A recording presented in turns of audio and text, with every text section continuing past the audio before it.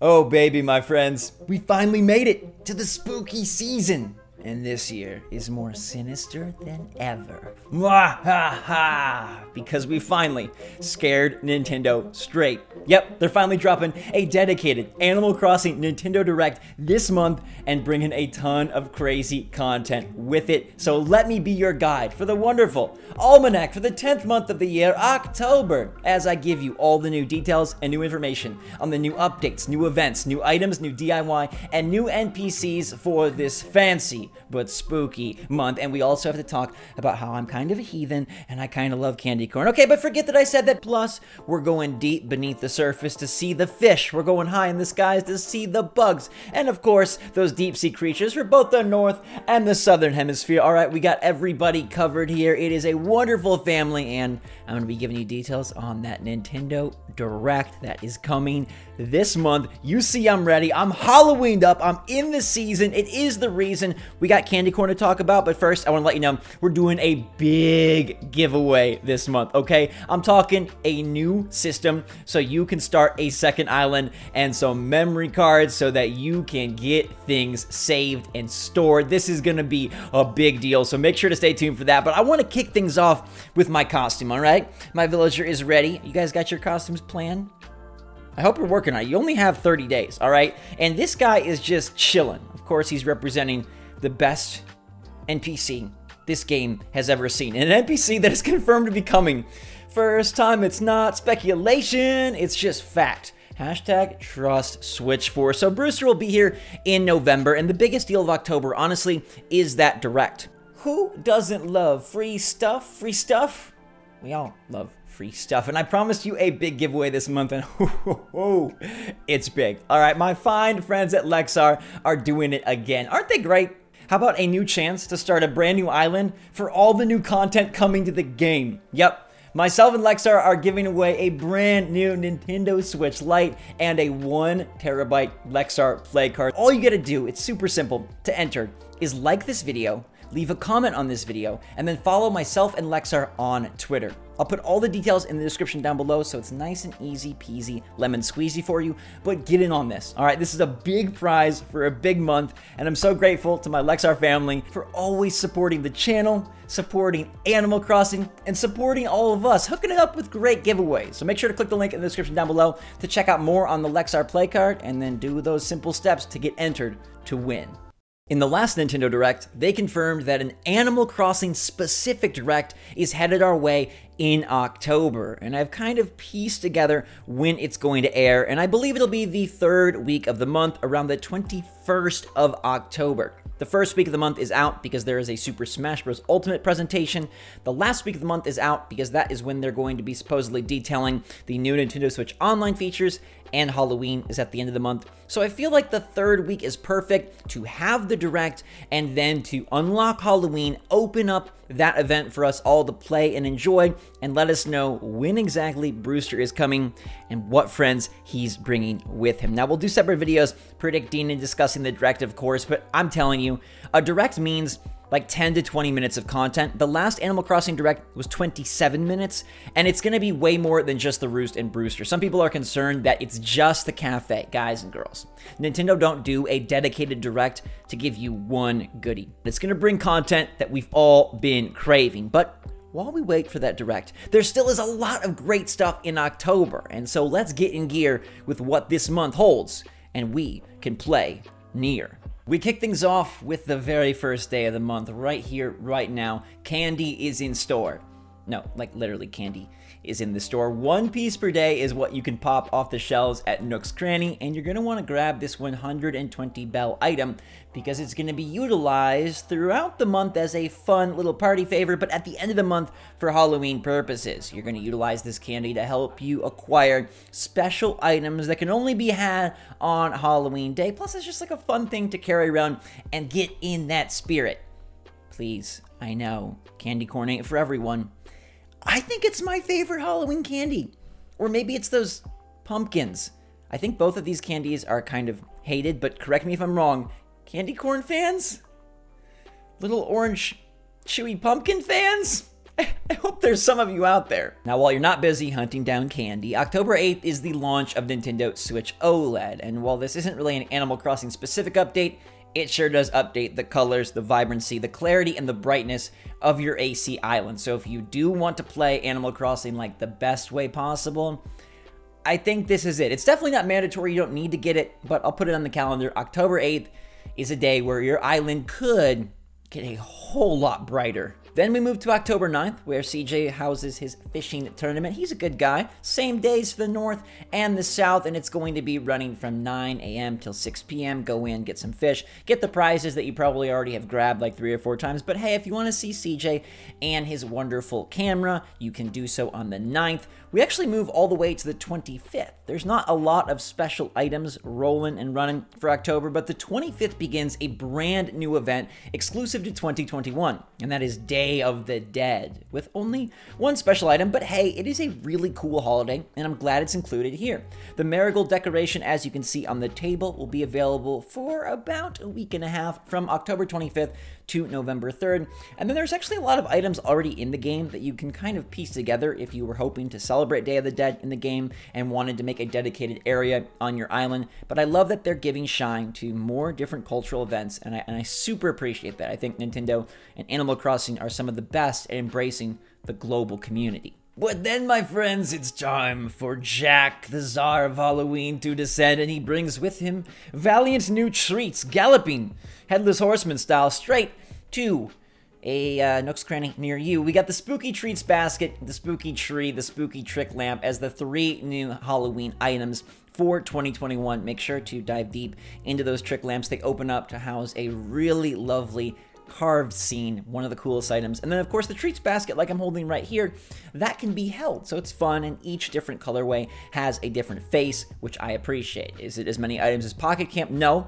But I do love that ACNH decided to give new holiday items for 2021. It makes a big difference and keeps everything feeling fresh and very fun. Now, Halloween itself, of course, is going to be on the 31st. Jack will descend to the plaza, things will get spooky, and your villagers will be ready for action. And by action, I mean candy exchanges, okay? Because there is a wonderful way for you to come in and trade candy. You can either spook up your villagers in their homes to get candy from them, or you can give them candy to acquire lollipops, which can be spent with Jack to acquire some Halloween specific items. There's actually a few DIY that you can only grab on Halloween. As far as I'm aware, it's seven of them, and I'm actually going to keep those hidden in case you haven't played Halloween yet. If you're a new player in 2021, I don't want to spoil them because they're pretty fun, and I feel like we should leave some sort of mystery and intrigue before the great old Pumpkinhead descends at the end of the month. Happily, Halloween is one of the more involved events in ACNH. There's actually a list of things you'll be able to do. Like I mentioned, you get candy from villagers inside their homes, and that'll be by spooking them with a costume. You can wear Jack's costume, or you can wear any costume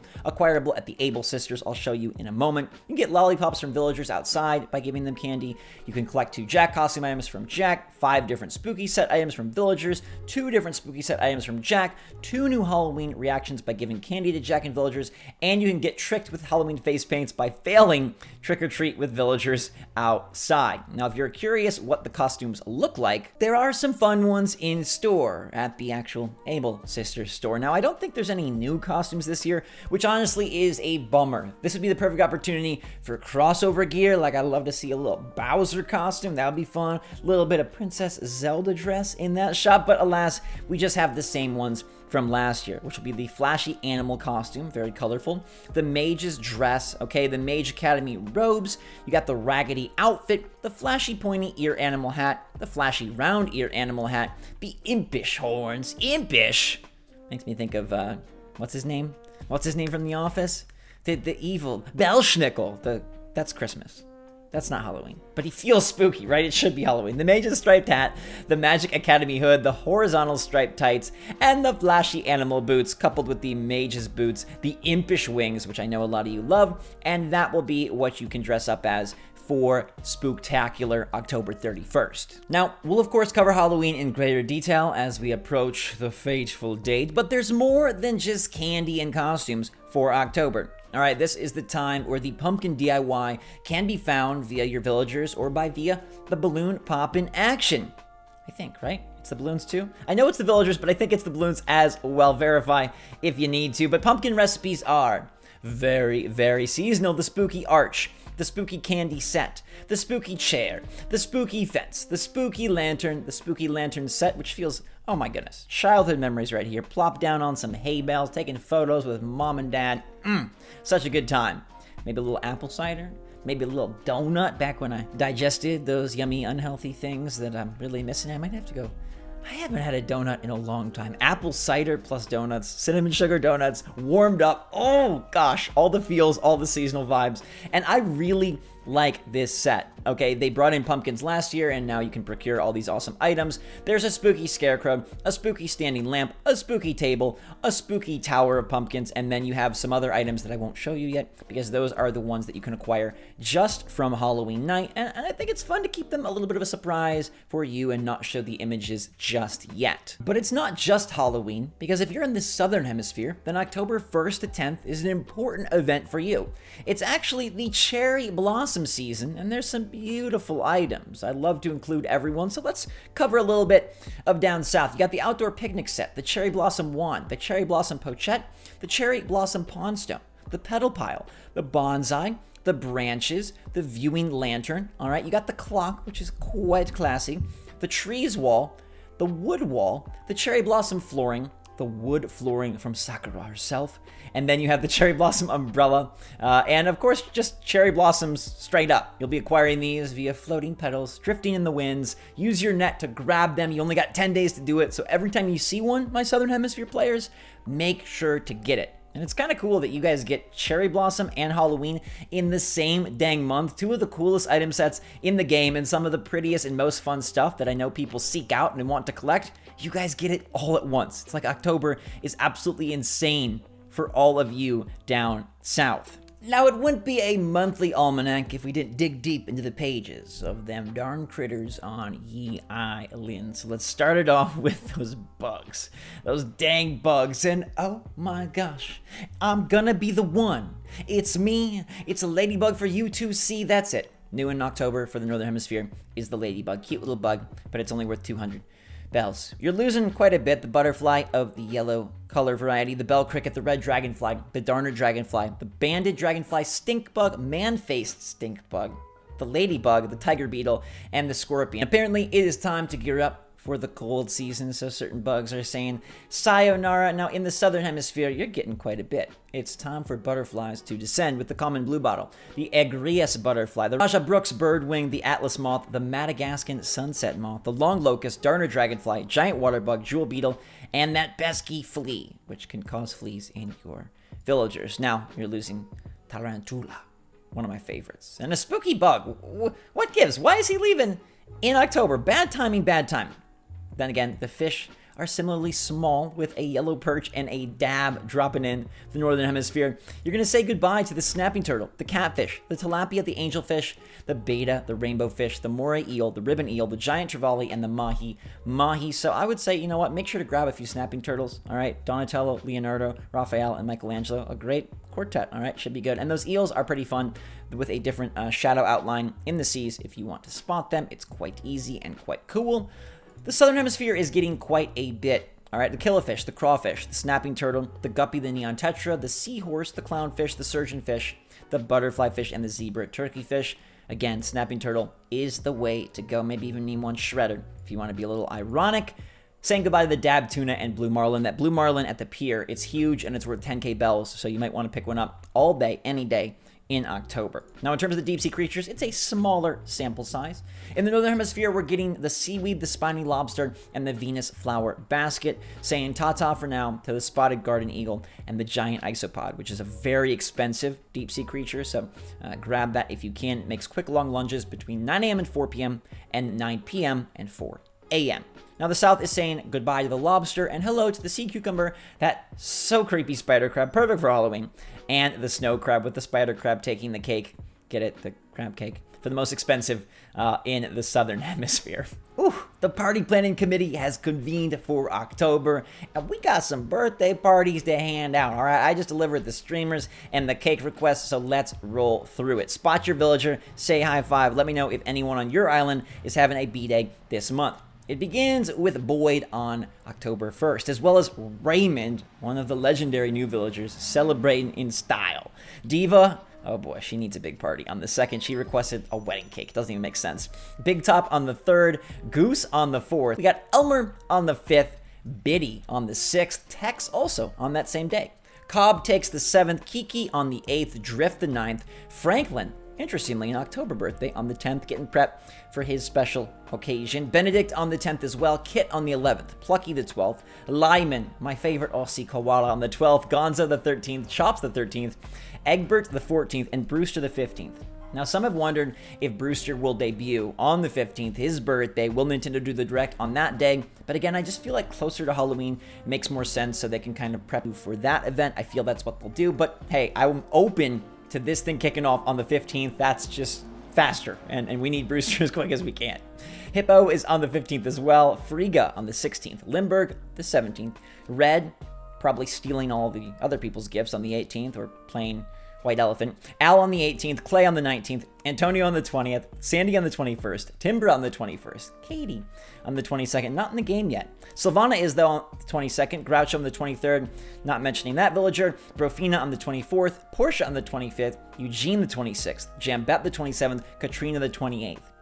Brewster and Katrina both have October birthdays. There's a direct plan. We already know Brewster is coming, and Datamines also showed fortune references. Could both of these birthday kings and queens be coming? I think you know the answer. Gaston is on the 28th, Rhodey on the 29th, Wade on the 30th, and LaBelle and her. Sassy Ways trying to steal the spotlight from Jack, who happens to have a birthday on his big day. Halloween for the both of them. LaBelle and Jack both celebrating October 31st. And that'll do it for uh, October Almanac, a jam-packed month loaded up with a Nintendo Direct Halloween, new spooky items. You got the pumpkin DIY, you got a fishing tourney, a new holiday with Day of the Dead. Southern Hemisphere got them cherry blossoms pedaling from the sky, and who knows what else is in store once Nintendo says hello on their direct day. It's going to be so good. I'm so excited to share it with you. Get your costumes ready, prep for Halloween, and get ready for the biggest deal since this game dropped. That direct is going to be massive. We'll watch it together. Make sure to hit that like button if you're excited. Let me know what you plan to play in October. Are you going to be getting a Halloween island theme ready? Are you going to be decorating your character with custom designs? Are you just waiting for the boy Brewster? Let me know. And until next time, everybody, have a wonderful month. I'll see you guys on all the videos. So stay safe, stay healthy, stay happy, stay positive out there. Make sure to check the description so you could be entered to win the Switch Lite and big memory card. It's an awesome prize, one you'll love, and can help you create a second island especially if Nintendo announces big new features. So enjoy, my friends, my family. I love you. And until next time, everybody, thanks so much for watching. Switch Force out.